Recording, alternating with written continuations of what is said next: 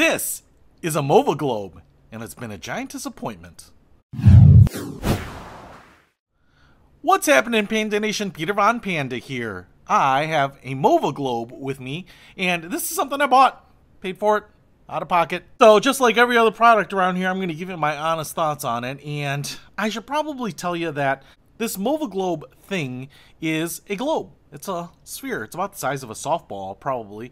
And what they do is they make them in this fluid here, and then I think via the lights, the solar power, it will continue to spin. So it has this nice, soothing, spinning rotation that just kind of puts you at ease and adds a little bit of motion to your office, your bedroom, those types of things. Now, I've had this one for a while, and there are a number of things that I want to cover. First of all, you can get them in a bunch of different styles. This is like this antique globe type of thing. It's hard to spin it around here because, like I said, it's filled with liquid. But I was actually intrigued about getting one that looked like the Earth with clouds on it. That would have been cool, so it looked like the planet was spinning. You can get them in some other planets, Jupiter, Saturn, those types of things. You can set up a whole solar system of MOVA globes. I also think you can get them in different sizes. I think this might be the smallest size here, and I want to say it was about 140 bucks. Now, you can get them with a base, and what this base is, it's just like plexiglass. It's actually pretty simple. It just has some holes drilled in there at an angle, and then you get these little tubes, and so you put these in there just like this, and this little tripod will hold the MOVA globe just like this. Well, I was hoping that this would be something I could put in my office and flip on my lights and have this thing spinning a little bit. It'd be up on my bookshelf in front of me, those types of things. It would move around, just kind of keep me slightly entertained. As you can see here, it was spinning one way and now it's kind of spinning the other way. I'm not sure how this is weighted. And again, I think it uses light to create the motion. I think it's a little bit like a perpetual clock that my aunt had when I was a kid, and that used like atmospheric pressure to kind of spin, something like that. So it's basically kind of passively receiving energy to spin. Now, what I want to show you here is that it doesn't seem to be spinning. And I will say it kind of spun at about this speed before. It doesn't spin much faster than that. And sometimes, like right now, it's kind of going again. So that's kind of cool. And I guess the bottom is weighted here. So at this point, it's kind of spinning, but depending on the light, and sometimes I just find it not spinning, or sometimes it just slows down. And I don't know if it's LED lights or fluorescent lights, or it needs something like really bright on it, but right now I'm in as bright of a room as anyone can probably expect. So I will say the spinning, while it does work. It works sometimes, and other times it's not spinning, and I have no idea why. And maybe it's the temperature or something like that. I couldn't tell you why. Sometimes it moves, and other times it will just sit there doing a whole lot of nothing.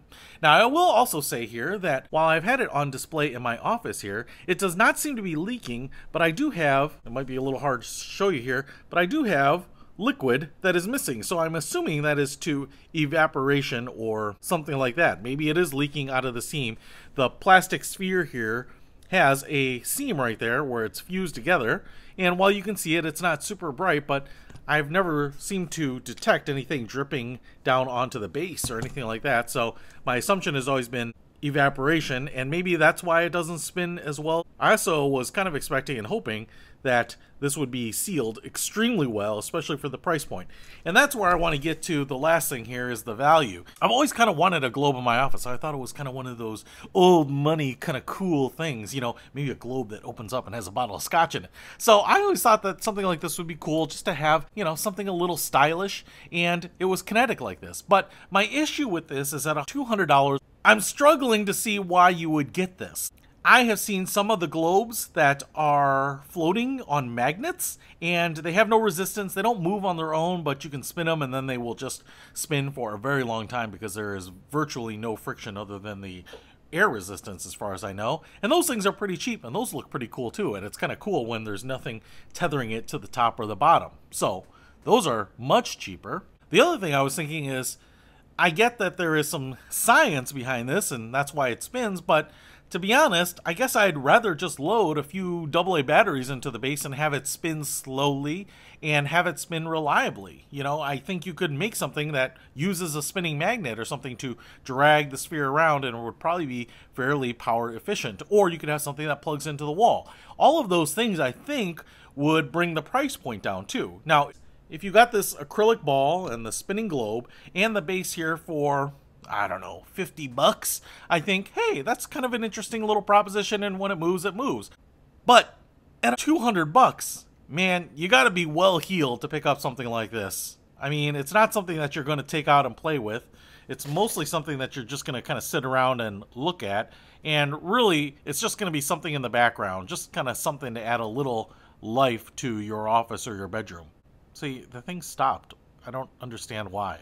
It's kind of unpredictable. So, it's a cool idea.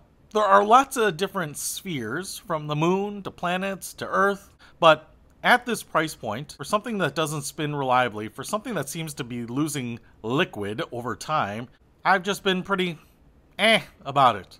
I definitely could have deployed a couple hundred bucks a little better, I think.